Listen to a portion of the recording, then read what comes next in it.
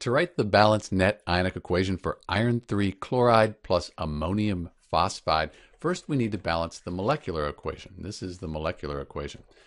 I've already balanced it with this coefficient of 3 in front of the ammonium chloride. Next, based on the solubility rules, we write the state for each substance. If you know your solubility rules, compounds with the chlorine, chlorides, they're very soluble, and compounds with the ammonium ion, also very soluble. So these substances are all soluble, aqueous, will break apart into their ions. Phosphates in general are insoluble with just a few exceptions. And iron phosphate, it's insoluble. That means it's a solid. It's going to be a precipitate, you know, fall to the bottom of the test tube or the beaker as a solid, as a precipitate.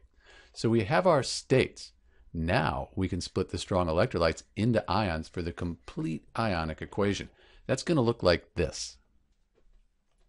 So this is the balanced complete ionic equation. Now we cross out spectator ions. They're on both sides of the complete ionic equation. So in the reactants here, I see three chloride ions. I also see three chloride ions in the products. Let's cross that out. Three ammonium ions here in the reactants and three in the products. We get rid of those. What's left, that's the net ionic equation for iron 3 chloride plus ammonium phosphate. Let's remove our spectator ions and this is our balanced net ionic equation.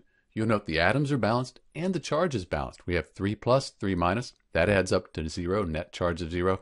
The products here, they're neutral, net charge of 0. This is Dr. B with the balanced net ionic equation for FeCl3 plus NH4 3PO4. Thanks for watching.